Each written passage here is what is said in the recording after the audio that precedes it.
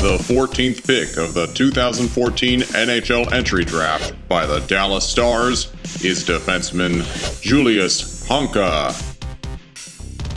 Out of the Swift Current, welcome to the National Hockey League, Julius Honka. Be sure to like, subscribe, comment, and share. Follow Eric Munter on Twitter and be sure to subscribe on YouTube.